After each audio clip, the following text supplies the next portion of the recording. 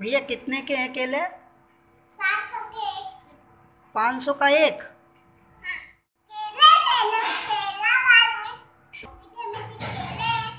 भैया ये वाला केला कितने का है? ये ये के। ये के। और ये